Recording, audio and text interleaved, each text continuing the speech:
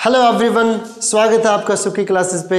I am back with my new episode मैं हाजिर हूँ अपने नए एपिसोड के साथ। तो दोस्तों, आज हम बात करेंगे सम म्यूज़िकल इडियम्स के बारे में। कुछ म्यूज़िकल इडियम्स के बारे में हम बात करेंगे, जिनका मतलब देखने से लगेगा कि ये किसी म्यूज़िक से रिलेटेड है। इनका कोई म्यूज़िक से रिलेटेड मीनिंग है, कोई मतलब है।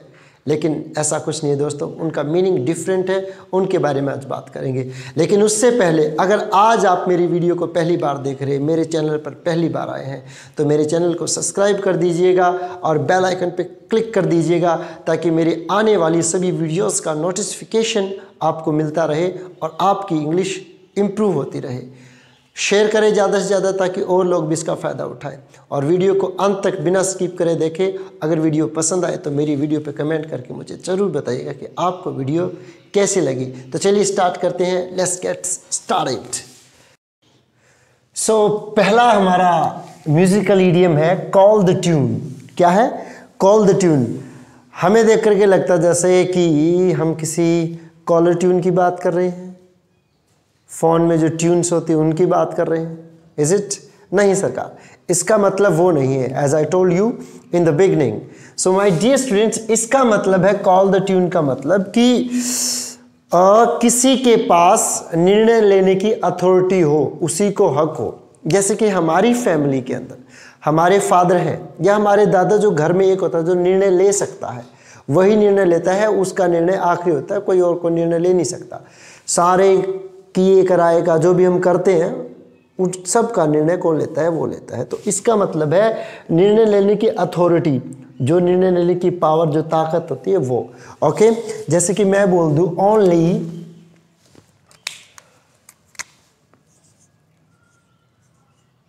only my father can call the tune in my family. Only my father can call the tune in my family.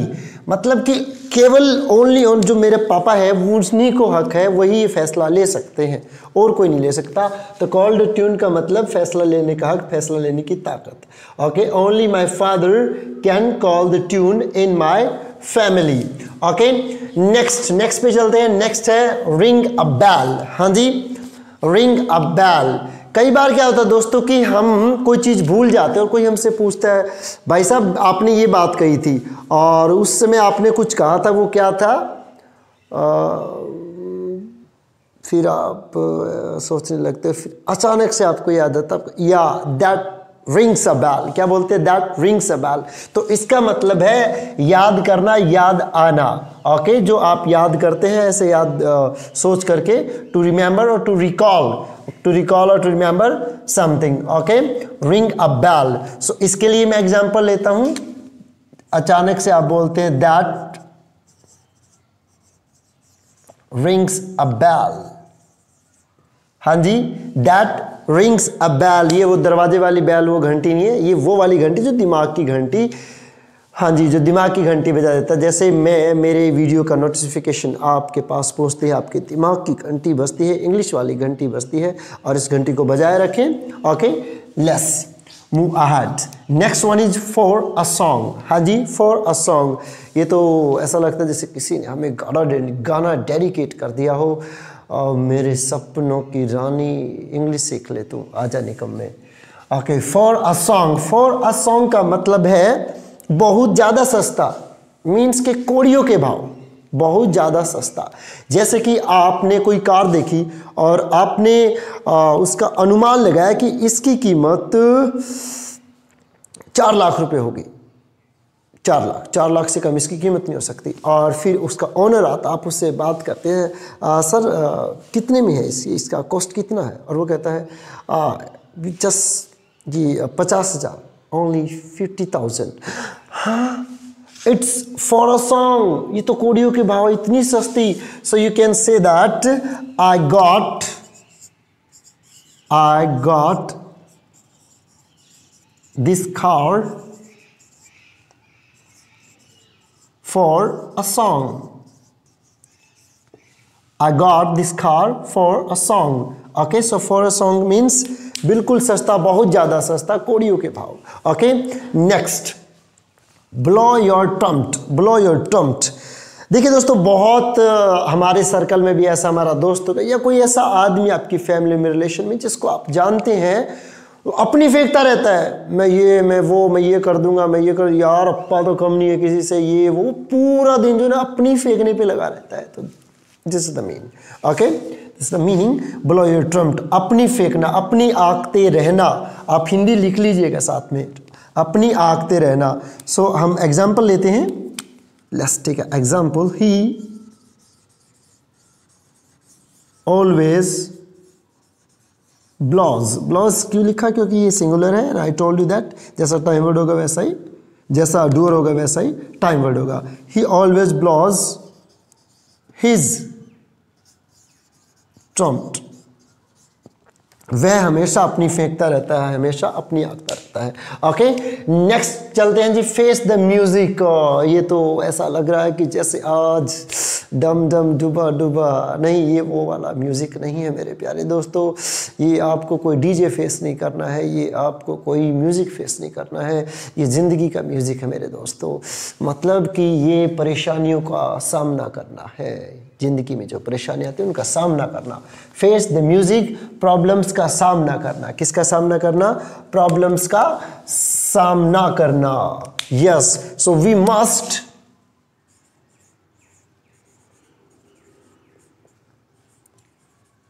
face we must face the music yes everybody just listen to me carefully we must we must face the music okay? क्योंकि ज़िंदगी में बहुत सारे ups and downs आते हैं ups and downs आते हैं so we have to fight and we have to stand stand okay so next no root no flute no root no flute का मतलब है कि भाई, हिंदी इसकी बोले तो ना रहेगा, बाँस ना बजेगी, बांसुरी मतलब अगर समस्या को ही ख़त्म कर दें तो सब कुछ खत्म हो जाएगा। ओके समस्या की जड़ को खत्म कर दे तो समस्या ही खत्म हो जाएगी। अब जैसे आपकी समस्या क्या है? अंग्रेज़ी ना बोल पाना, अंग्रेज़ी ना सीखना, अंग्रेज़ी ना आना। तो अगर आप एक क्लिक करके मेरी वीडियोस को, एक क्लिक करके आप देख लेंगे, सब्सक्राइब कर देंगे चैनल को, और आप मेरी वीडियोस को देखना स्टार्ट कर देंगे तो जो इंग्लिश वाली जो जड़ है, जो समस्या है जड़, समस्या की जो जड़ है इंग्लिश वाली, वो दूर हो जाएगी। Okay so my dear friends no root no flute just click on the bell icon. Blow the whistle on blow the whistle on का मतलब है, जैसे हमारे प्रधानमंत्री जी ने प्राइम मिनिस्टर मोदी जी ने अचानक से हमें बोला कि 22 मार्च को सारा कुछ बंद रहेगा लॉकडाउन और उसके बाद फिर नेक्स्ट डे पूरी घोषणा कर दे कि ये आगे तक बंद रहेगा, ओके? तो अचानक से किसी चीज़ के ऊपर पाबंदी लगाना, अचानक से किसी चीज़ के ऊपर पाबंदी लगाना, रोकना that is called blow the whistle on okay? Let's take example the government has blown